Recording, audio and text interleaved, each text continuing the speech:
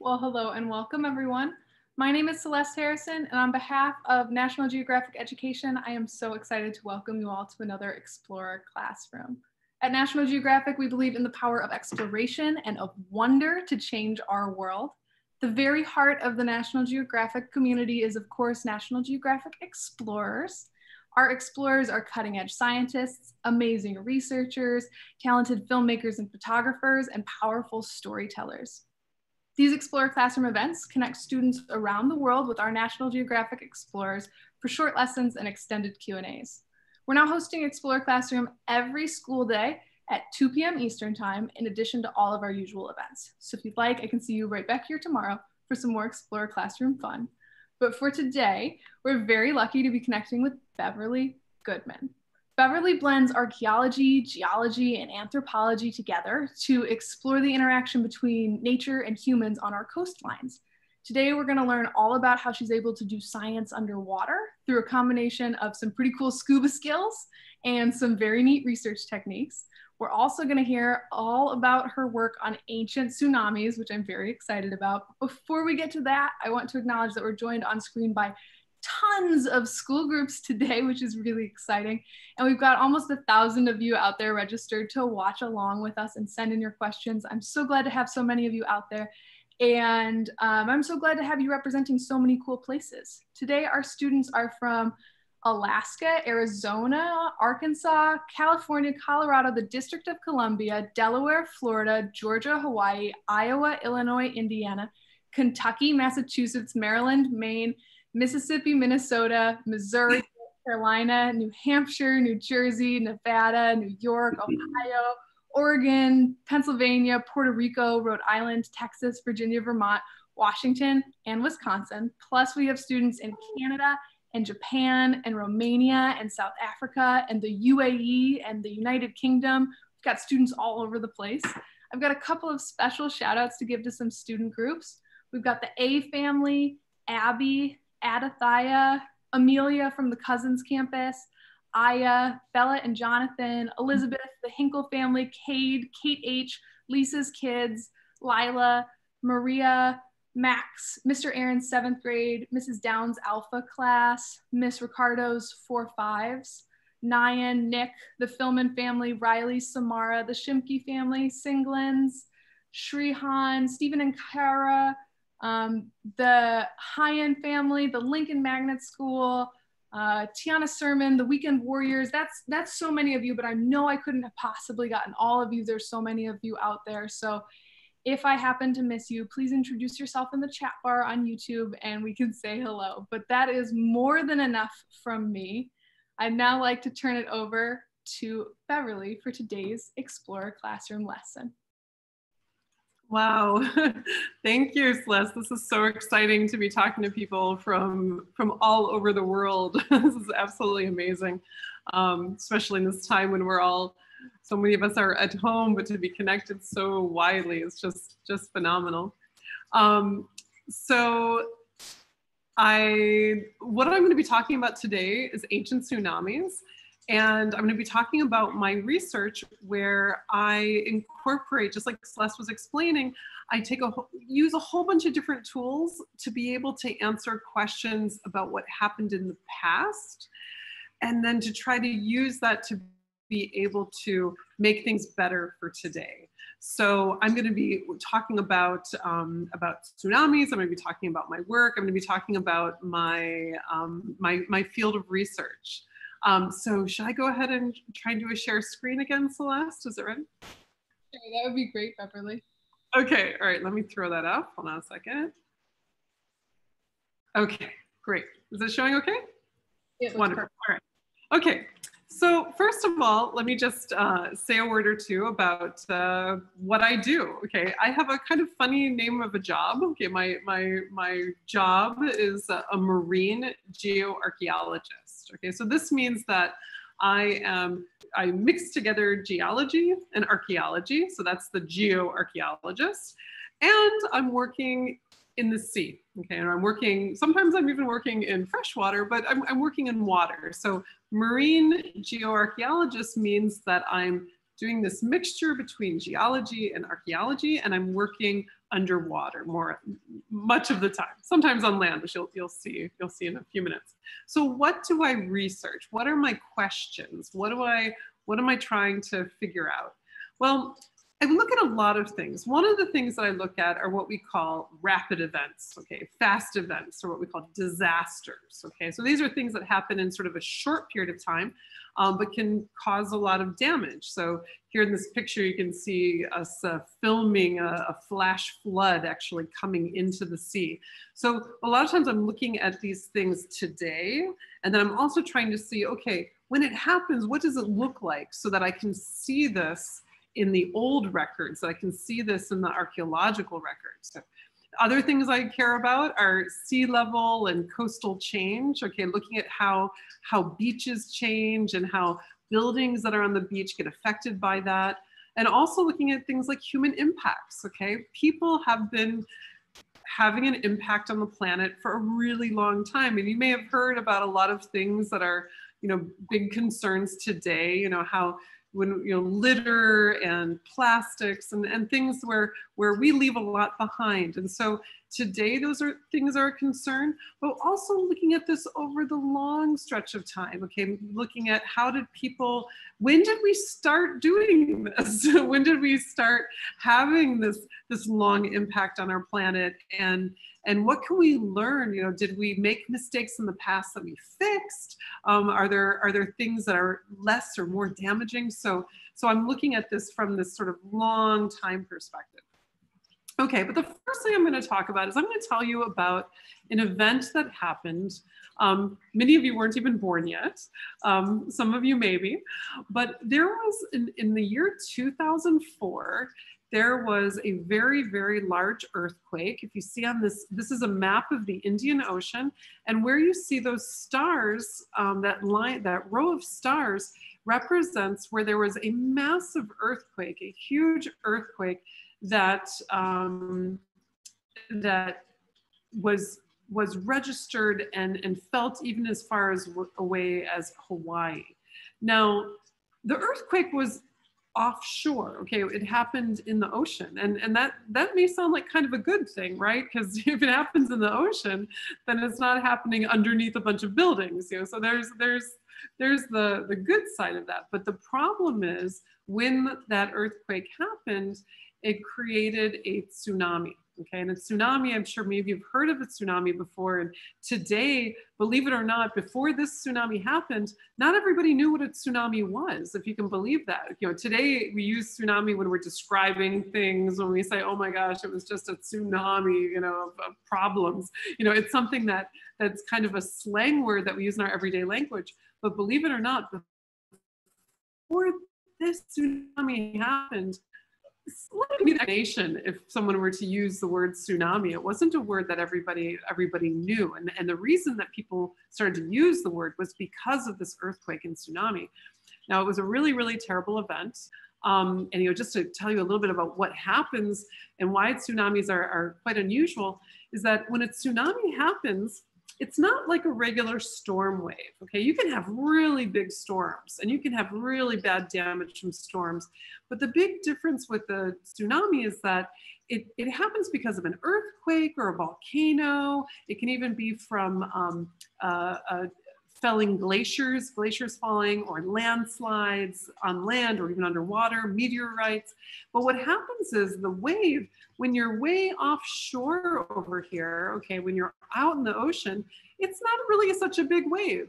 But as the wave comes in towards the shore, it's moving all that water. And you have to kind of picture that. I hope you can see my arrow. But if, as this water is coming in, as the water is coming in, it doesn't change in size. Okay, the water doesn't, it's got to go somewhere. And so what happens is the, the way it'll develop these waves as it gets closer and closer to shore. And then all of that water's got to go somewhere. So when it gets to the coastline, the water doesn't turn to, to itself and say, okay, that's it. We're at the beach. You know, we don't go any further. The water just keeps going over the land. And that's why it's so very different than, you know, than um, storm wave. I mean, storm waves will also go inland a bit, but not as much as a big tsunami can. It can just, it, and it will damage everything in its way, in its path. Well, this photograph here is from that event. And the reason I'm showing you this photograph is that this is a very, very scary photo. And the reason that it's scary is that that white, that white foamy line that you see off in the distance, believe it or not, that is the wave coming in from that earthquake. But the scary thing about this is not really the wave, but it's these people, okay? You see these people who are standing there they're checking it out and they're looking and they're having a nice day. They're out in their bathing suits going for a stroll on the beach on a beautiful morning with, you know, sunny skies. And this is the thing that for me was just horrifying. And the reason it's so horrifying is that we know now what's going to happen. That wave is going to come and it's going to keep going. And many, many, many, many people died. Okay, many people died. And many of them, just like these people you see here, stood and watched the wave coming in. Okay.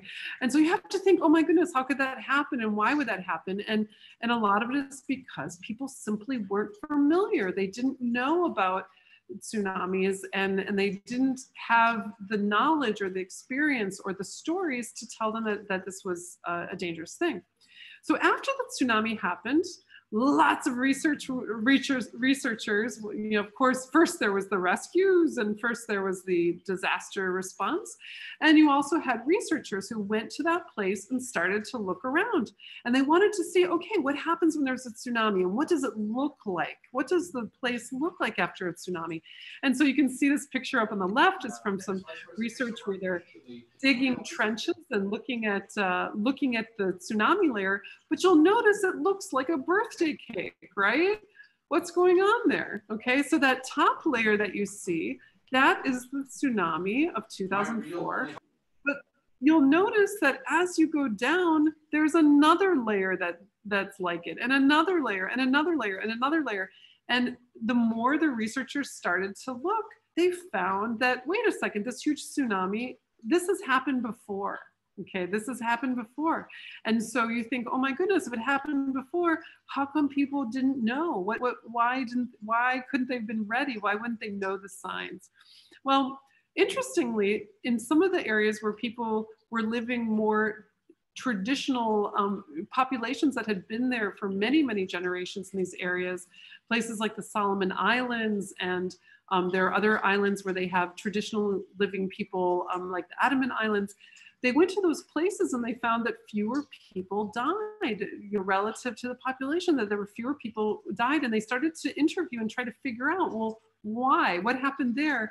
And sure enough, part of it was this traditional knowledge that they noticed some things happening. They approached the elders, they discussed it, and then they they remembered from the folklore and they got everybody away from the shoreline. And so some of the places that had this traditional um, folklore knowledge of these past events knew about it. But a lot of the people that were on the shorelines, many of them had only been there, moved there in the past 20, 30 years. Some of them were tourists who had never been there. So they had no reason to recognize the signs.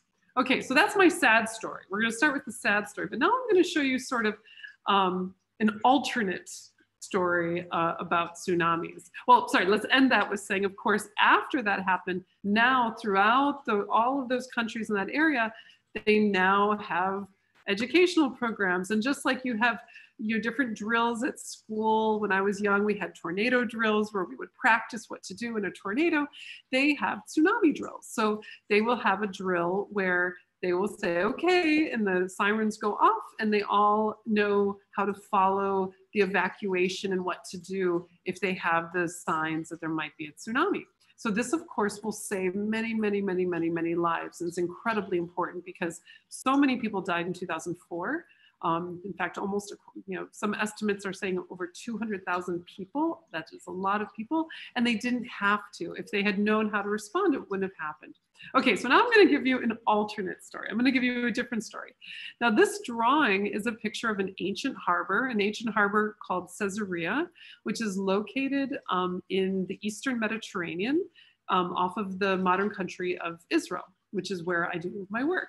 And this is just a drawing to give, give you a feeling. It was this massive Roman harbor. It would have um, been able to bring in very large ships. They would have brought grain from all over the region and beautiful things and, and simple things and everything you can imagine. Um, a gorgeous city with a pal- with a temple and you know government buildings and all the typical things of a, of a Roman city. But the thing about this harbor is today the harbor is underwater. Okay, so all of this dark the, the dark patches that you see in this photograph from, from an airplane, that is actually the harbor sunken under the water. And so the question was, why? You know, when and why? Was this something that happened slowly over time, or is it something that happened really quickly? And so archaeologists and historians and geologists for many, many, many years were studying this harbor and trying to figure out um, what was going on there. Was there a big earthquake? Was it uh, was it done on purpose? How did, how did it happen? And I was part of those excavations. Um, I went there as a student and, and uh, volunteered and also got credits and, and studied there. And, um, and eventually was working with the with the underwater team that actually went and excavated the harbor itself. And so for many, many years we worked there. And we discovered that in fact, the harbor seemed to have been destroyed pretty quickly. Okay, it happened quite fast, but we didn't know why. We knew it happened about 80, 90, you know, 100 years or so after it was built, but we didn't know how come. One year we were working, this is this picture down in the bottom is actually me many years ago. Um, and we came across this unusual layer and this is what it looked like. It, it may not sound very exciting because it's, you know, we're underwater and we're in the sea and it's shells. And you're probably thinking, well, of course you see shells when you're underwater. You know, show me some gold. But trust me, this is this is this is just as exciting. Um, but the thing that's really unusual is that this is a place where the seafloor is sandy. Okay, that's the normal seafloor. And this layer wasn't sandy, it was full of shell and ceramics and and cobbles and pieces of stones. And more importantly, these shells that you see, these clams, they don't live in this depth. We found out that they were they were brought there from much much deeper. Okay, so some force had to carry it you know, miles away from where it lived and dumped it right outside the harbor. So we were able to get some dates on it. We used what's called radiocarbon dating, and we also had ceramics. We had pieces of pottery that could tell us when it was. And believe it or not, the age of this pile was the same age as when the harbor was destroyed. Hmm, interesting, right?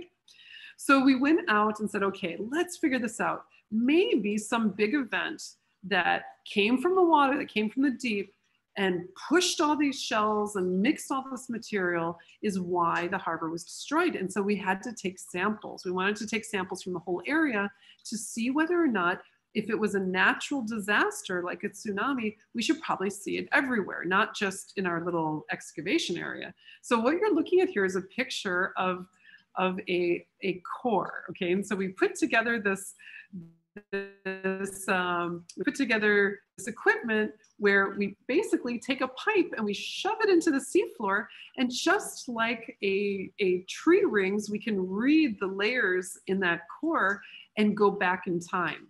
Okay so we took a whole bunch of these. Here's a picture of the hammer that we put on top of it. I'm going to show you a short movie in a minute so you can see how this works um, and but we collect the core, we bring it to the lab, and then we start, we open it up, and then we look down through the layers and see whether we can find these jumbled, coarse, shelly layers like we saw in the excavation. Um, so I'm going to show you just a, a some clips of a little movie about the harbor. What you're looking at here is a little explanation of how the harbor was built. Okay, this is a 2,000 years ago, they, they built the harbor by making artificial islands and covering it with, uh, with, um, uh, with uh, cut stones on top. And this is a nice little animation of what the harbor might have looked like. This is a film from National Geographic uh, that was about King Herod. And here we have underwater, okay? So if you can see underwater, this is what it looks like today. Those are columns that are covered in biological material that's encrusted on it. And everywhere you look in this harbor, there's mm-hmm. material that's that's fallen or or collapsed. I mean, it's just everything is man-made. It looks like a natural reef, but it, it, you have to believe me that it's not. These are the, underneath all of that growth is, is cement and things that came from far away. And here what we're looking at are these two massive towers that sit inside, right outside the entrance of the harbor. And when we excavated there, one of the big mysteries was that we realized that these towers were on their sides. Something had knocked these huge towers over. So again, and then we figured out that this was the same time as this, this event happened, this destructive event. So here's some more images of what the harbor looks like today. So here's, here's just to explain how we get our cores. So we're hopping in and the underwater, it looks like a construction site. We have all this equipment that we have to build and link together and, and uh, you know, bring all the pieces until we get that, that pipe finally in its position. There's the hammer, okay, and the hammer is attached to the surface uh, to an air compressor. And then we just hammer it right in. And once it's in the ground, we attach it to ropes into an airbag, and then we pull it out of, of the bottom, okay? And here you can see it coming up on the ship, and then you've got to open it up, okay? So, you know, it's a little brutal, but this is, this is, a this is how we do it. Now you'll notice here, here's an example of a core that we opened. And when we're looking at it, those, those parts of it, remember I told you that it's normally just nice sand? So you can see that there's these clean sandy layers. And in between them, we have these chunks of rubble, okay, that are, that are interrupting it. And in a way, you can, you can see, even with the naked eye, this very clear change, okay, these changes that are happening, that you have the normal sand, and then something happens. And here, look, that's actually a piece of pottery, believe it or not. We caught a piece of pottery inside the core. Sometimes we get very lucky. And you can see those shells, those clams I was telling you about that, that poor guys got woken up in the morning and, and got transported and shoved on a wave, you know, to miles away from their homes.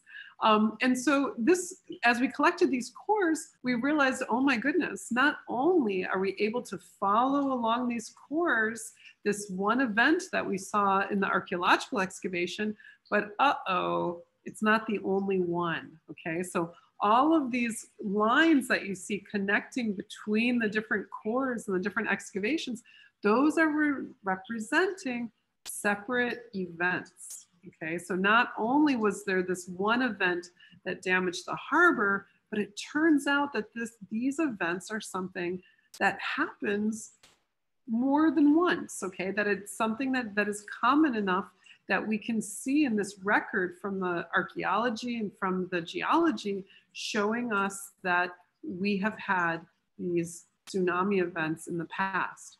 So when this happened, of course, you know, it's very interesting. It told, explain to us a little bit more about what and why, uh, what happened with the harbor. But on the other hand, we went, oh my goodness, we have a problem. Because you know what? People live there. and so we searched also all over the archaeological site. Here's an example. Here I am in a hole, you know, where we went to some of the areas where on the archaeological site, they had they had evidence that we thought, okay, let's go see how far inland did the tsunami get. And so we went through the archaeological site and searched around. And sure enough, we were able to find in different parts of the site some of the remnants of these tsunami events. Here I'm, I'm crouched in front of a sand layer, and that's actually a sand layer that, that filled up rooms right next to the harbor, okay, during one of these events. So we were able to go around the site and suddenly there were layers that that that for many years nobody really knew why they were there. They had no explanation, um, or they had explanations that didn't quite fit. And now that we have this information from the sea, that we had all of these cores and excavation data and could show that we have this big event that moved things from the deep to the shallow and from the land to the sea, we were able to connect all of these, these mysterious deposits and, and be able to, to fully tell this story. Um, here, for example, in this room that was excavated, those those large um, stones that you see are actually one side of this building that was collapsed in a wave that knocked the, the side of the building into the room okay?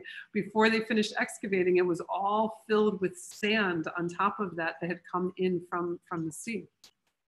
Um, here's another, this is just another example that you can see in this room of this, the, the bottom of this destructive layer. You can see all that, this is after they removed a lot of the sand, but you can still see the remnants of some of that, that sand that came in and pushed the wall and, and made the wall collapse with all of the sand around it and all those individual building stones. You know, it's, it's a bit amazing to look at when you stand there, it's a bit alarming because you think, oh my goodness. But the good news I can tell for all of you watching is that underneath those stones and sand, we did not find any people, thank goodness. Nobody, nobody was hurt in this room.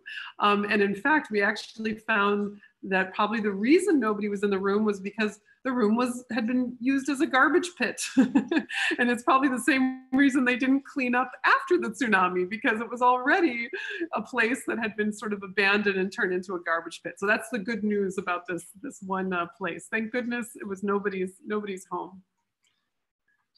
Okay, so this is a nice little uh, sort of three-dimensional view of this room. So in that middle area, this this is the side of the room that was destroyed during the tsunami, and all of these all of these uh, these bricks, which are very large, are what the, the were the walls of the room that were thrown in during the during the tsunami itself.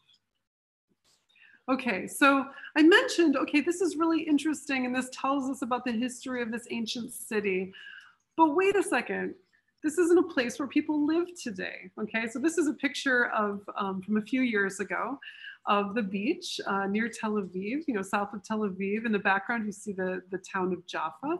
And, you know, this is a place that's very popular and people go there and fill up the beaches in the summer. And it's, it's, it's, you know, just like any beach you can imagine in Florida or, or somewhere like that. And, and of course, you remember that, that photograph from, uh, from the tsunami. And I thought, you know, this is, this is terrible. But this, the great news is, is that we brought this information to the government and the government took a look at it and they thought about it and they thought about this and they considered all of the data that we provided for them. And I'm happy to show you that this is what we have now on that same beach. Okay, so you can see Jaffa in the background there. And so the government decided this is serious. The archaeology has shown us that this has happened. And so today, when you go to these beaches, they have tsunami hazard zone warning signs all along the coast of Israel. And they also have directional signs so that if an event happens, and you can see on the top of this uh, pole, they have uh, you know sort of sirens and uh, they can announce from them. And if they people hear, okay, there's there's risk of a tsunami, there's also signs that tell them exactly how to evacuate and where to go and where to get to the safest places and how to find high ground as quickly as they can. Um, and so this is this to us is probably the most uh, rewarding and exciting uh, part of, of, of, the entire research experience. Um, and um, so that's where there's where I want to end my story and to say, well, thank you for all of you for, for being here. And I'm really excited for your questions. And this work has been supported by National Geographic years, as well as you know local. Um, this is research in Israel, so the Israel Science Foundation and Ministry of Energy and Water, and partnerships with many many people. This this slide would be very full if I put everyone's names on there, all the students and collaborators, and um, it's it's a, a a big effort of a lot of people over the years. And thank you. Amazing. Well, Beverly, your work is so incredibly cool. It's such a neat blend of high and low tech and land and sea and distant past and, and, near future. It's just, it's really, really unique and cool. So thank you so much for taking us on that little tsunami detective project. For folks who are watching along at home, um, we'd love to see what your favorite part was. If you're going to do a follow up activity, maybe from the family guide or the educator guide, you draw a picture, you make a comic strip, you produce a video, whatever it may be, we would love to see it. You can share I'd that. With- yeah, exactly. You can share that with us on Twitter at NatGeoEducation, hashtag Explore Classroom. It'll make Beverly's day. It'll make my day. We love to see your work. Um, it's now time for question and answers. Um, if you're on screen with me, get ready with a nice loud voice. I will tell you when it's your turn. If you're on YouTube, you can start sending in your questions in the chat bar. We keep track of all of the questions you send us, so you only need to send your question one time. Please don't spam us. Um, our first question today comes to us from Ben, who's nine years old and is wondering what the most unusual discovery you've ever made is. Oh my goodness. Um, wow, there's quite a few that that um, that come to mind, but I, I okay, I'll tell the one that that um, is a little bit embarrassing, but it's probably one of the things that's most interesting. One of the excavations that we did, we were working um, off of off of this uh, part of the coastline that was north of the harbor. And we just wanted to see what the tsunami deposits look like there. And as we were excavating, we found the tsunami and we found the regular and we found the tsunami, we found the regular and everything was exactly what we expected. But then we found a layer of mud. Okay. I know that might sound like, so what? Mud. Okay. I got mud on my shoes this morning. What's the problem?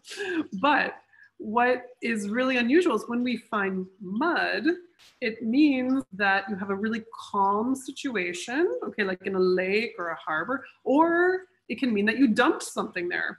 And so when we looked back on the coastline and we mapped out where it was, we realized that we were actually directly off of an ancient sewage pipe.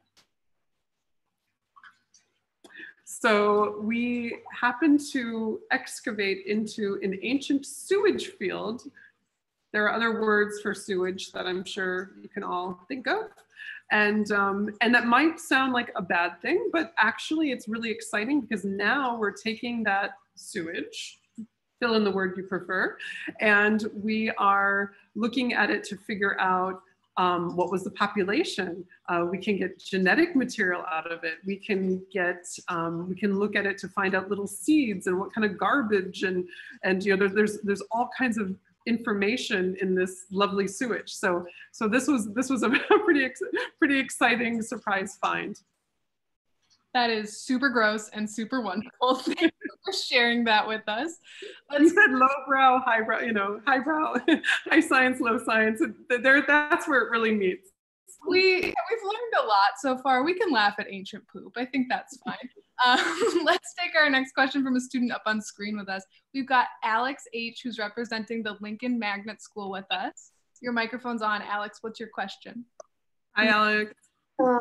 Now that you have found all of uh, this evidence and amazing information and ways to keep everybody safe from tsunamis, uh, what is your next goal you want to achieve?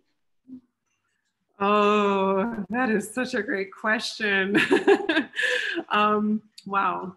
You know what? I love your question because one of the things in research is, you know, we're, we're passionate about what we do. And, um, and I'll be honest, you know, there's a part of me that once we discovered once they believed us and once they they acted on it it was this great relief.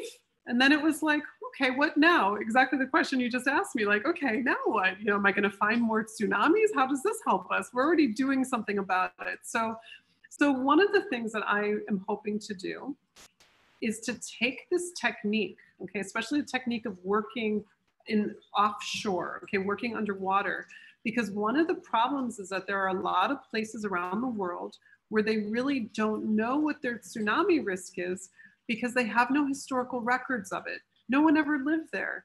And, the, and there's so many more people on the planet today and the populations are growing so much and people are living in places and building cities where no one lived before. And the reason that no one lived there is because they couldn't. They didn't have air conditioning. They couldn't ship all their food there. There were places where it wasn't a very nice place for people to live, like especially places that are super hot or super, you know, just uh, not very easy to live without all these modern, you know, all the modern technology that we have today.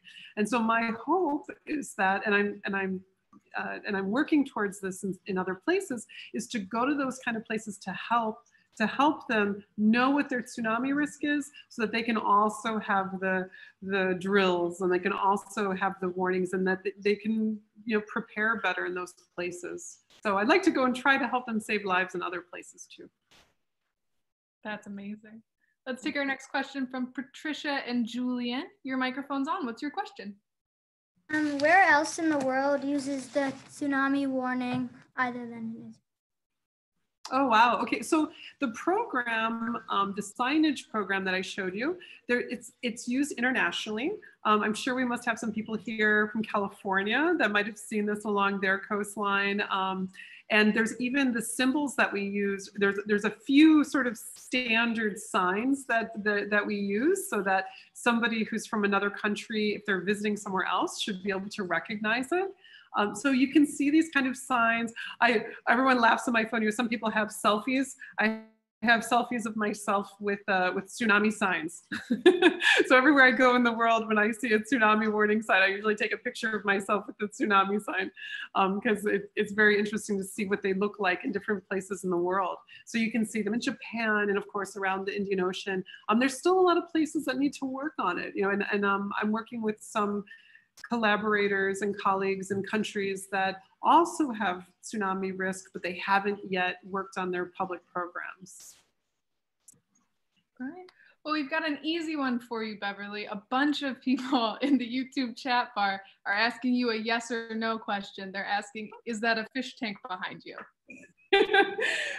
It is. It is a fish tank. And you know, before the coronavirus, I used to feel sort of guilty about the, the poor fish not being able to swim freely.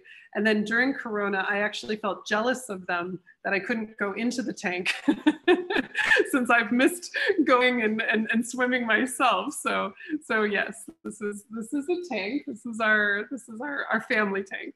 Love that. We've got Stephen and Kyra who uh, heard about tsunamis. Very intimidating, very scary. Have you ever witnessed one? I have not. I have not witnessed firsthand a tsunami. Um, thank goodness.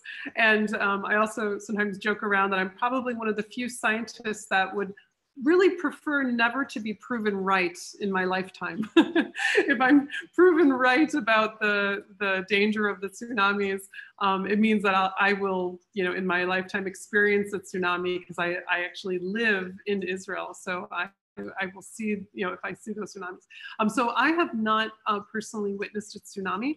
Most of the research I do, I'm going to the place either, you know, a while after it happens or I'm focused, I'm really focused on the ancient tsunamis. So most of the tsunamis, I'm looking at, at the mess it left behind um, a long time ago. Speaking of the mess that it left behind, we've got Helanga who's wondering if the tsunami affects animals uh, who live underwater too. That is a really good question. Um, so this is interesting. Yes, it does. Naturally, of course it does, because um, like I showed you, you know, we have these clams that we know are eroded out, you know, that they're lifted out of their habitat and moved.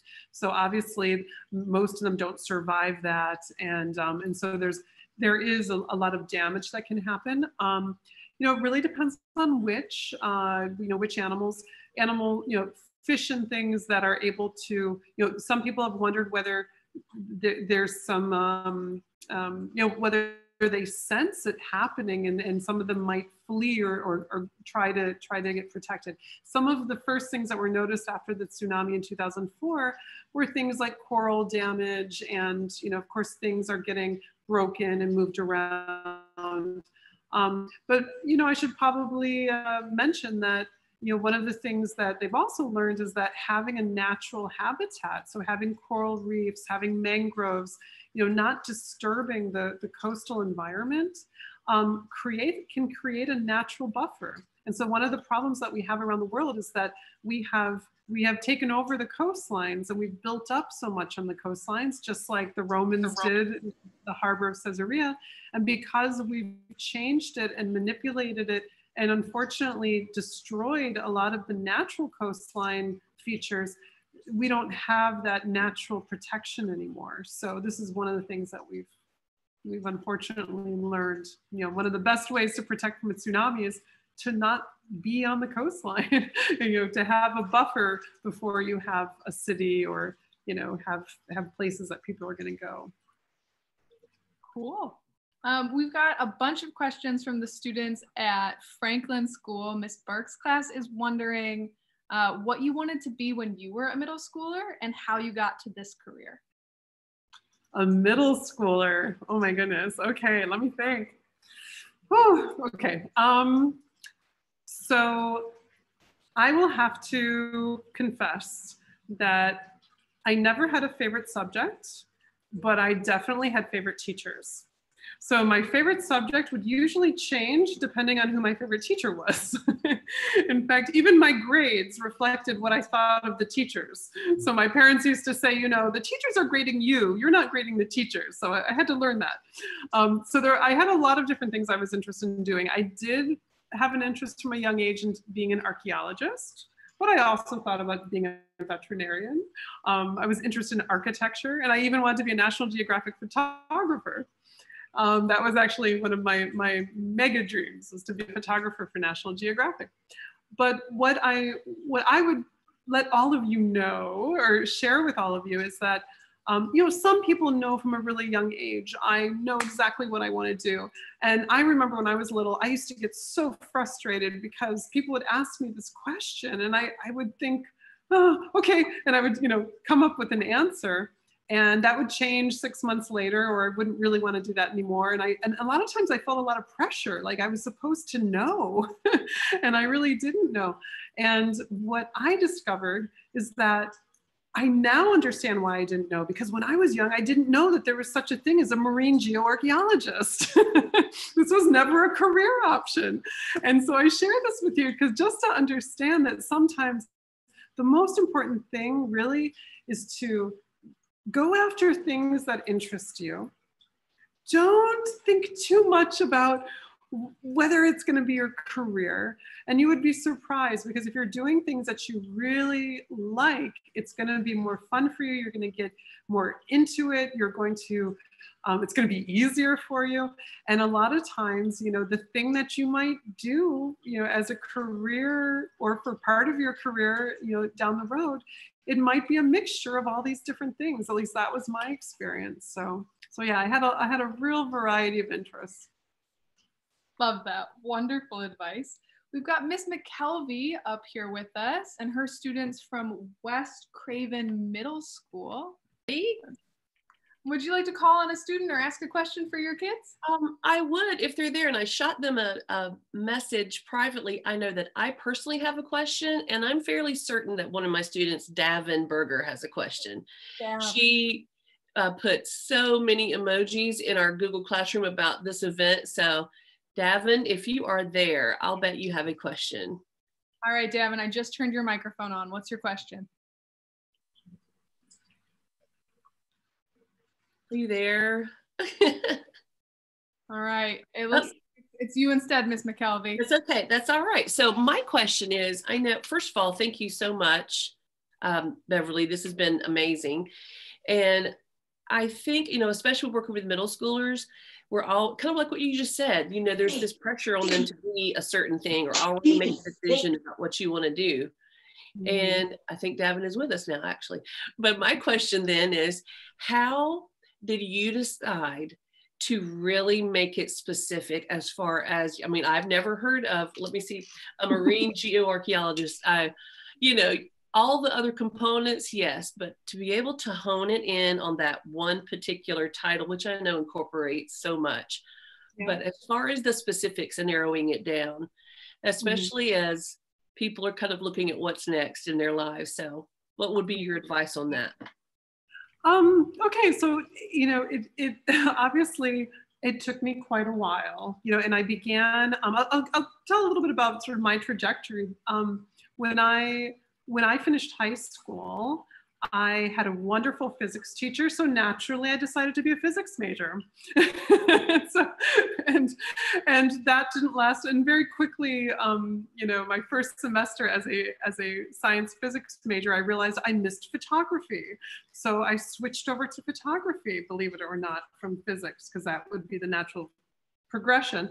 Um, and, um, and, and, and then I, at some point I said, wait, wait, stop, stop, stop and I began studying anthropology. Okay, and anthropology is a very incorporative sort of science. You know, it's it's it's biology and geology and evolution and um, and, it, and it gave me, for me personally, it, it, gave me sort of this freedom to think about um, very you know holistically about about how different things sort of connect and you know and through that um, i was also taking i really loved geology courses though i never thought about making it a major. So i had been taking those at the same time. So it, it wasn't until i i went to graduate school to do anthropology and i decided to spend a summer in caesarea and and you know, actually before, right before uh, the, my last year of my undergrad, I decided to get some summer credits. And it really was, um, it wasn't motivated by wanting to work in Roman archaeology, but I was motivated by, okay, I'd like some archaeological experience and I'm still there. so, you know, I mean, really, I, I, I think it's so important um, to try to stay open-minded and not to question too much when when you find something interesting or enjoyable. You know, that's one of the saddest things that I hear sometimes where someone will say, oh yeah, I took an archaeology course, but ugh, nobody ever makes a career out of that.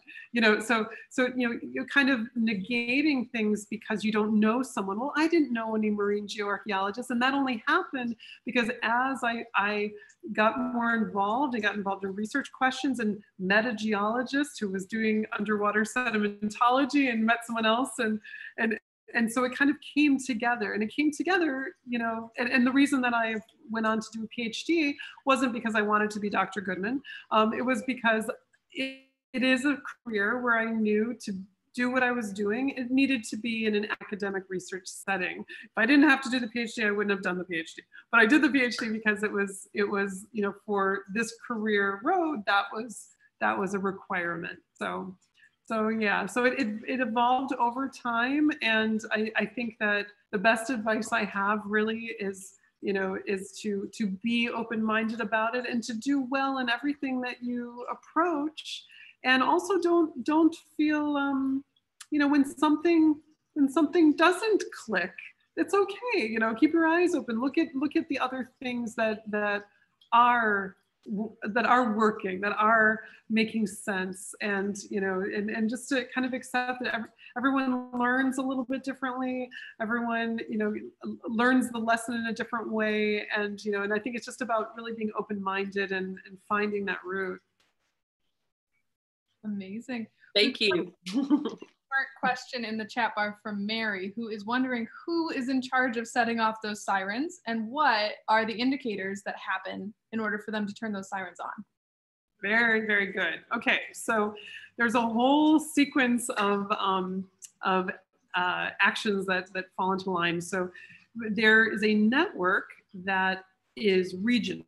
Okay, so there is a tsunami warning system that because of course this is planet Earth, you know, it's not any single country that would be affected if there's an earthquake in the Mediterranean that's going to create a tsunami, it's going to affect a lot of different countries. So there's actually a network of tsunami warning systems where all the different countries, um, especially for here, we talk about the Eastern Mediterranean. So, you know, even some, sometimes Italy is involved, but basically Greece and Turkey and um, Cyprus.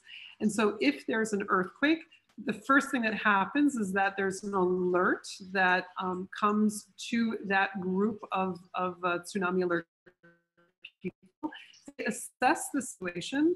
They have models that they run very quickly. Okay, so literally, um, the, I'm not that person in Israel. There's there's a, a woman in our um, in our um, Oceanographic Institute uh, who, who is responsible. She'll literally be woken up in the middle of the night. You know, she sort of has a, an alarm that will go off and she's got to wake up, open her computer, get the model running and determine whether or not they have to announce um, a warning or an alert, okay?